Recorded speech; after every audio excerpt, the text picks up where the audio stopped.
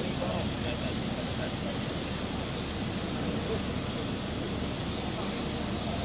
you.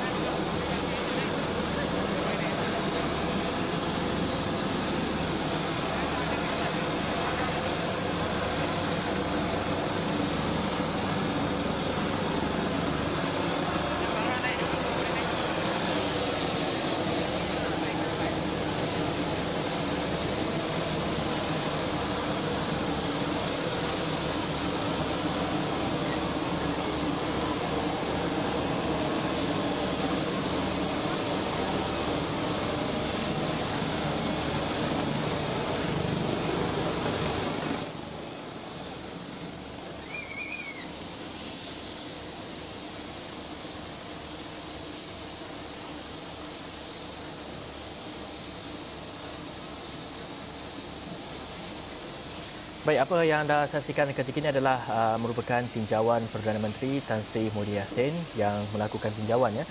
Uh, melihat kepada penghantaran bekalan keperluan kritikal COVID-19 ke Sabah dan juga Sarawak. Uh, dan ia uh, sekarang telah pun uh, bersiaran secara langsung ini adalah di pangkalan TUDM Subang di pangkalan TUDM Subang dan di mana terdapat juga beberapa uh, individu ataupun menteri lain yang kelihatan.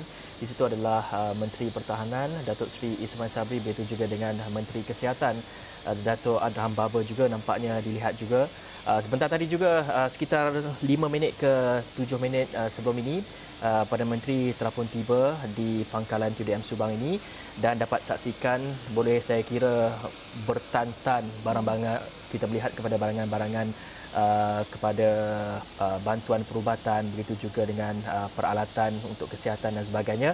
Kerana di Sabah ketika ini mencatatkan jumlah yang agak tinggi ya. Hmm. paling tinggi yang telah dicatatkan uh, sejak berhari-hari dari segi kes COVID-19 dan sebagainya.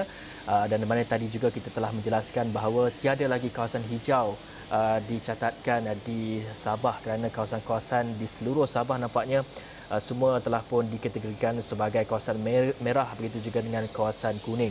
Dan perhantaran ini juga uh, dilihat telah pun ataupun perhantaran ini uh, dihantar ke dua negeri iaitu di Sabah dan juga Sarawak Namun kalau kita melihat kepada situasi semasa di Sarawak pada ketika ini, uh, mungkin pada tahap yang agak baik lagi uh, kerana hanya satu kawasan saja mencatatkan kawasan zon merah, satu kawasan kuning, yang lain masih lagi uh, kawasan hijau. Dan kita akan melihat perhantaran ini sedikit sebanyak dapat memberikan kelegaan dari segi uh, bantuan dan juga dari segi bekalan-bekalan ataupun untuk mencukupkan sedikit bekalan-bekalan perubatan uh, terutama di Sabah dan juga di Sarawak itu. Hmm, dan dalam masa yang sama kalau kita tahu sebelum ini turut dilaporkan mengenai uh, Menteri Tugas-Tugas Khas Sabah Datuk Muhammad Arifin Muhammad Arif ada memaklumkan kepada kita bahawa selain bantuan khas dapat juga bantuan dana sebanyak hmm. 1.3 juta ringgit yang uh, juga akan diberikan kepada pihak hospital uh, yang memerlukan bantuan segera bagi menangani pandemik COVID-19 terutamanya uh, di Sabah itu hmm. Mafizi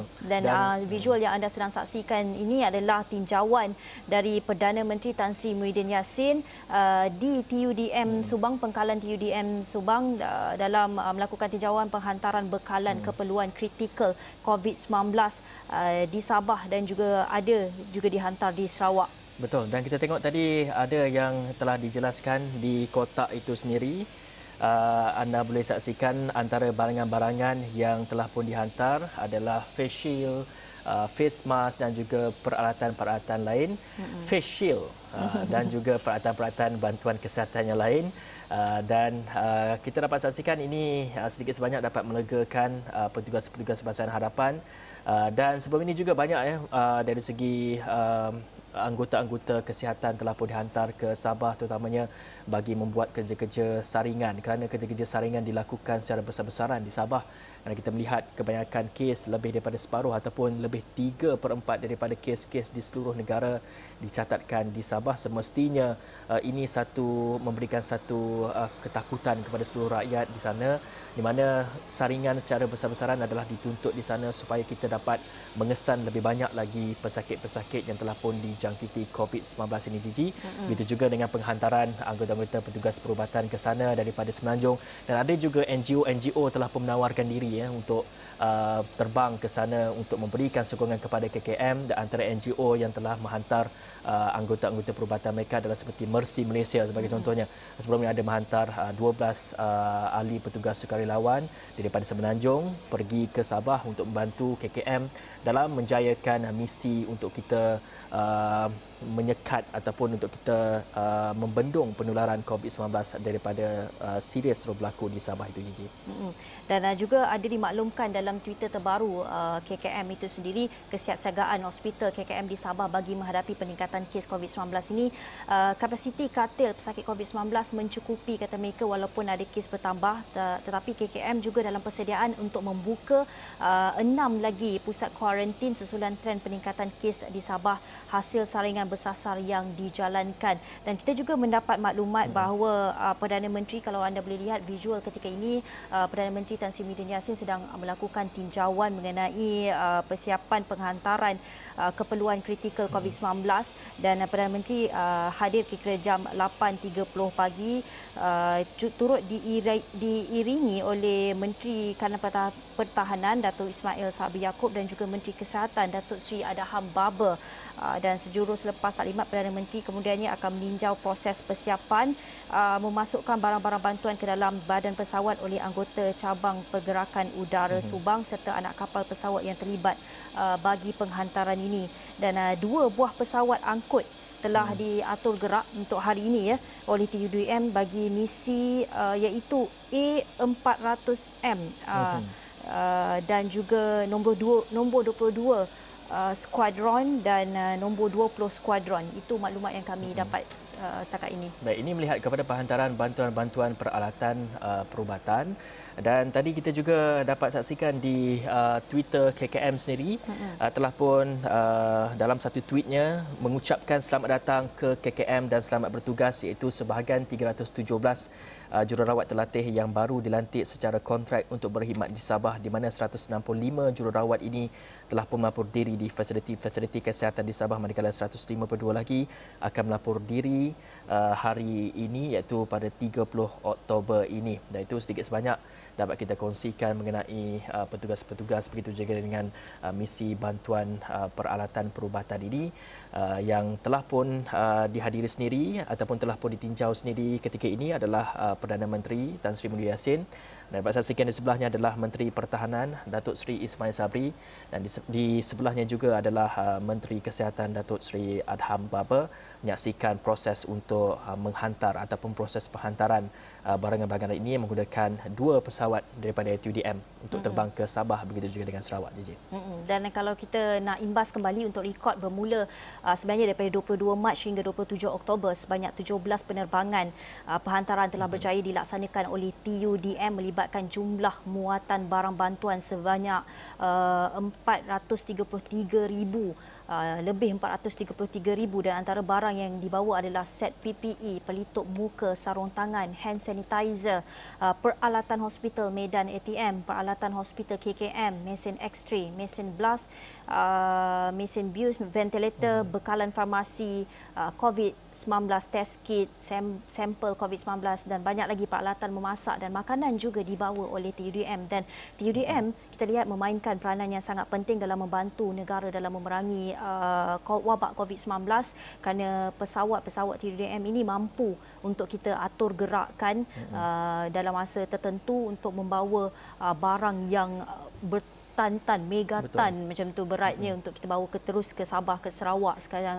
Uh, ketika ini dan sepanjang Oktober ini kalau kita tahu sebanyak 471 kotak sampel COVID-19 dari Labuan, uh, Kota Kinabalu, Tawau telah menggunakan perhantaran oleh pesawat TUDM hmm. untuk diserahkan kepada pihak KKM uh, dari Subang bagi laksanakan ujian pengesahan di makmal-makmal di Semenanjung Malaysia. Hmm, baik, sebelum ini juga kita telah pun saksikan antara usaha ataupun inisiatif daripada Angkatan Tentera Malaysia sendiri uh, untuk membantu meringankan beban KKM adalah dengan menyediakan uh, beberapa hospital medan ataupun dengan menubuhkan beberapa hospital medan yang sebagai contohnya beroperasi di Kompleks Sukan Tawau yang akan uh, mempunyai kapasiti sebanyak 100 katil termasuk 4 katil unit rawatan rapi ICU yang akan memberikan rawatan khusus kepada COVID-19 ini saja dan ia sedikit sebanyak dapat mengurangkan beban petugas-petugas semasa hadapan di uh, yang sedang bertugas uh, di Sabah terutamanya pada ketika ini yang menyaksikan tiada lagi kawasan hijau di seluruh Sabah hmm. hanya kawasan zon merah yang paling banyak sekali begitu juga dengan kawasan kuning ini bermakna uh, setiap daerah di dalam uh, Sabah itu sendiri Uh, mempunyai kes-kes COVID-19 itu sendiri. Dan apapun kita akan bawakan perkembangan selanjutnya mengenai uh, penghantaran uh, misi uh, bantuan ini yang kita dapat saksikan tinjauan daripada Perdana Menteri begitu juga dengan beberapa menteri uh, kabinet yang lain dan kita akan bawakan perkembangan dalam buletin awani seterusnya dan untuk itu kita hmm. pergi ke Astro uh, awani pagi pula.